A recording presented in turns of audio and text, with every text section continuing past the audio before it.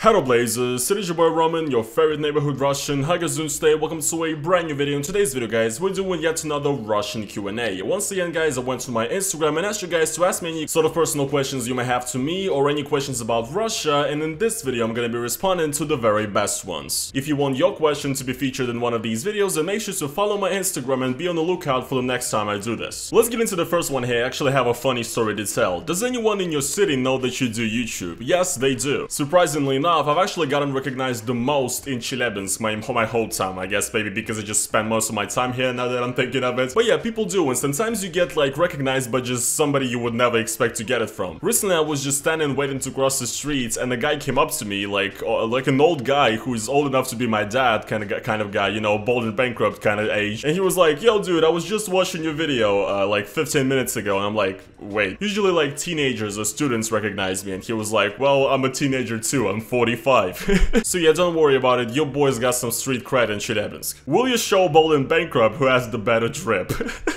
Um, I don't know if you guys are aware, but Bald and Bankrupt recently on his second channel, Daily Balls, uh, on his community tab, challenged me to a drip off. Apparently Bald and Bankrupt, yeah, this post right here, he posted this. Apparently Bald and Bankrupt thinks he, he dresses better than me. And uh, I don't know what to say about this Billabong Old Navy super dry fat looking ass. I, I mean, dude, uh, Bald and Bankrupt, just the absolute gall, just the sheer gall, the absolute audacity to challenge my drip. I can't wait till the time they lift uh, all the border restrictions and you come to Russia and I'll show you how to dress, okay? Because this this has to go, dude. This is, this is, this is, the Converse sneakers can stay. Everything else has to go, dude.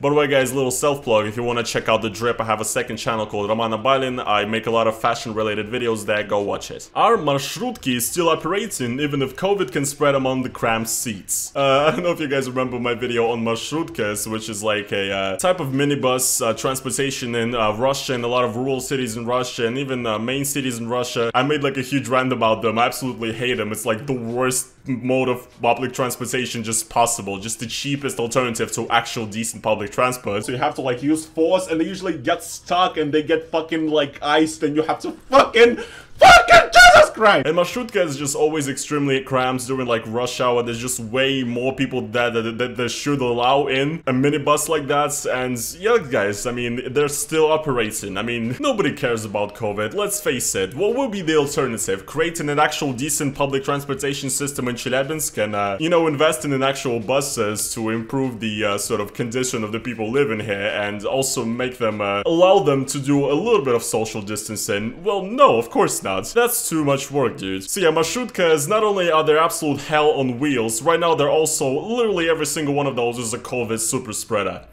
I love it. It's sick. I, I, love it. If Putin is gone, would there be a chance of Russia joining the European Union? Uh, no, I don't think that's the case. I don't think uh, Russia could ever join the European Union. I, I feel like it would be kind of like a Turkey situation. Let's imagine for a second right now that Russia's government changes and Russia suddenly becomes super pro-Western, like pro-European, uh, whatever. All the sanctions from Russia are lifted and Russia is in, was in complete peace with the, uh, with the West and Europe and America, which I don't think is possible. And I don't entirely think that should be the case, to be honest. But I don't think really Russia could ever join the European Union because it's just too big. Like, look at the European Union and look at Russia. If Russia joins the European Union, at that point it's gonna be a bigger...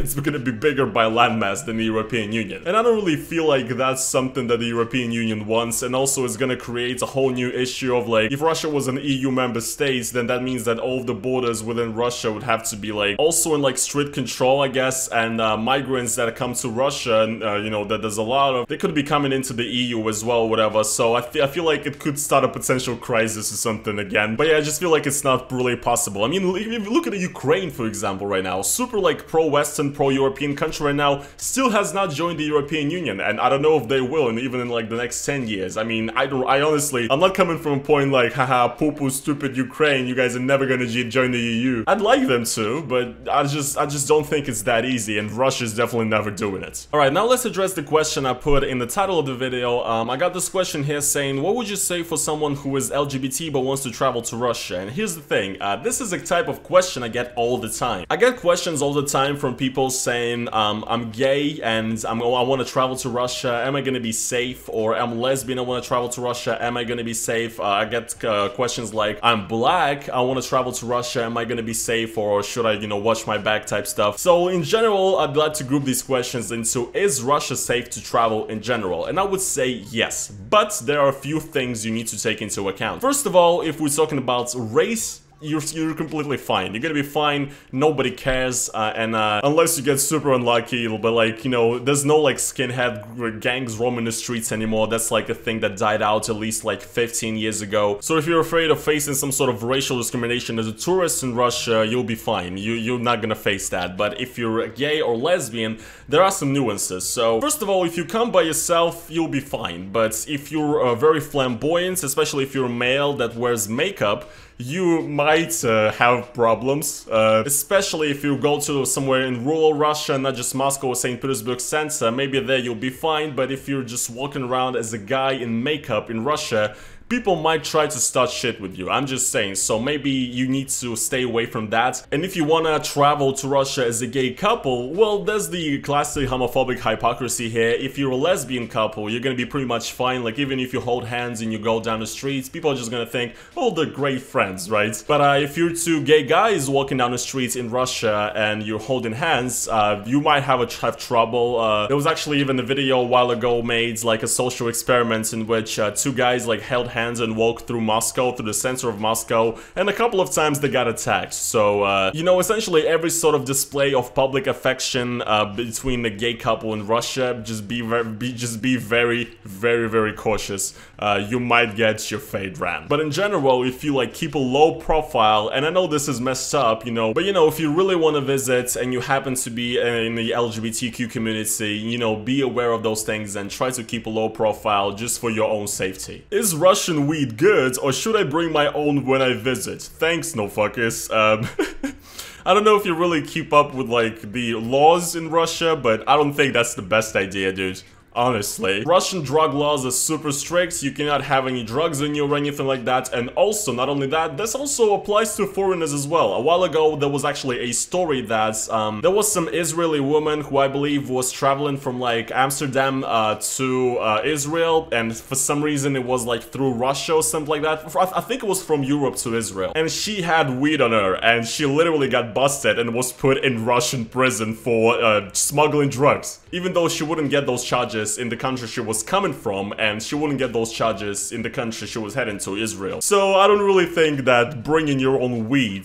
to uh, Russia is the best idea, dude, honestly. Uh, does every family in Russia own a dacha, or is it a privileged thing? It's definitely not every family. Um, it's a, it's sort of a, it's not super privileged. A lot of families that live pretty normal, you know, not, not like super, not a luxury lifestyle, they have dachas. I know plenty of people like that. My family actually owns a dacha, and we were able we were able to uh, get it and do a lot of stuff to it thanks to my YouTube channel. I've been helping out my parents and stuff. So that shit doesn't make you rich in Russia. I feel like it maybe just shows that you you're either sort of in the uh, upper middle class kind of, or you're just you know, or you're in the middle class and you save up a lot of money uh, to be able to afford a dacha because a lot of dachas actually inherited in Russia from like back in uh, from some from like grandmas etc. That's actually the case with uh, my dacha. It's been inherited from uh, my stepdad's mom, so we didn't even actually actually buy it, uh, but we, but you know, actually building it and doing stuff to it costs money. And uh, yes, yeah,